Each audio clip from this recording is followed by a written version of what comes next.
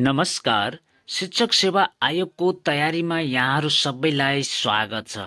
आज म मावि र निम्न माध्यमिक तह मोडल सेट टू समाधानसहित लिएर परिमार्जित पाठ्यक्रममा आधारित महत्त्वपूर्ण प्रश्न उत्तरहरू लिएर उपस्थित भएका छौँ।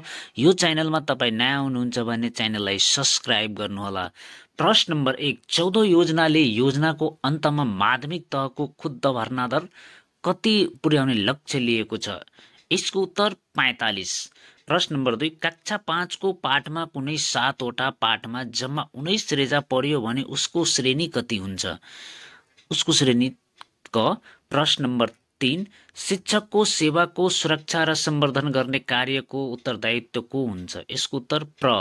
प्रश्न नम्बर चार विक्रम सम्बत दुई हजार अठाइस सालमा नेपालमा कतिवटा क्षेत्रीय शिक्षा निरीक्षालय स्थापना भएका थिए? यसको उत्तर चारवटा। प्रश्न नम्बर अर्को प्रश्न नम्बर पाँच सीको परीक्षा केन्द्र तोक्ने काम कसको हो? यसको उत्तर माध्यमिक शिक्षा परीक्षा समन्वय समितिको। माध्यमिक शिक्षा परीक्षा समन्वय समितिले सीको केन्द्र तोक्ने काम गरिन्छ। त्यस्तै अर्को प्रश्न नम्बरतिर अब हामीलाई अर्को प्रश्न नम्बर छ। उच्च स्तरीय राष्ट्रिय शिक्षा आयोगको प्रतिवेदन दुई हजार पचपन्नले शिक्षामा बजेटको हिस्सा कति पुर्याउने सिफारिस गरेको छ?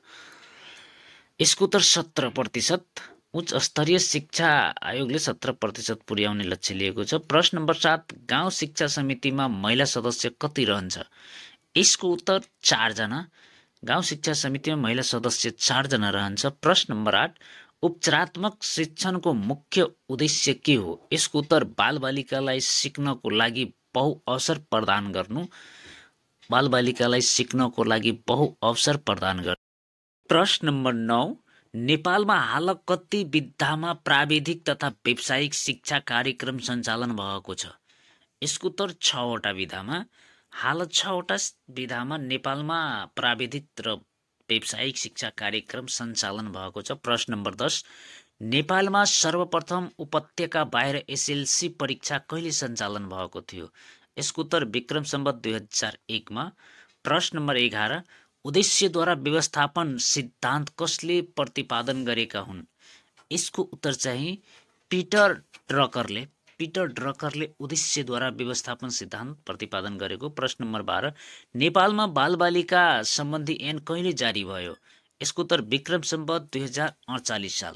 विक्रम सम्बत दुई हजार अडचालिस सालमा नेपालमा बालबालिका सम्बन्धी ऐन जारी भएको थियो। त्यस्तै अर्को प्रश्न नम्बर तेह्र प्रवेश परीक्षा कस्तो मूल्याङ्कन हो? यसको उत्तर पद स्थापना मूल्याङ्कन। प्रवेश परीक्षा पद स्थापना मूल्याङ्कन हो। प्रश्न नम्बर चौध नेपालमा कहिलेदेखि विद्यार्थी भर्ना अभियान सुरु गरिएको हो? यसको उत्तर विक्रम सम्बत दुई हजार एकसठ सालदेखि नेपालमा विद्यार्थी भर्ना अभियान सुरु गरिएको हो। त्यस्तै अर्को प्रश्न नम्बर पन्ध्र अन्तर्राष्ट्रिय साक्षरता वर्ष कहिले मनाएको थियो? यसको उत्तर सन् उन्नाइस सय नब्बेमा मनाएको थियो अन्तर्राष्ट्रिय साक्षरता वर्ष।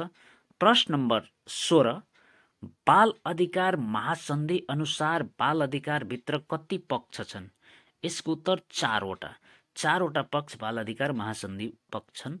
प्रश्न नम्बर सत्र सहशब्दी विकास कति लक्ष्य छन्? यसको उत्तर आठ। प्रश्न नम्बर अठार पाठ्यक्रम विकास केन्द्र कति शाखा छन्? पाठ्यक्रम विकास केन्द्रको कति शाखा छन्? यसको उत्तर सोह्रवटा।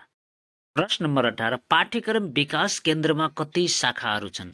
यसको उत्तर चाहिँ सोह्रवटा पाठ्यक्रम विकास केन्द्रमा सोह्रवटा शाखाहरू छन्। प्रश्न नम्बर उन्नाइस सिकाइ सङ्गठनका पिता कसलाई भनिन्छ?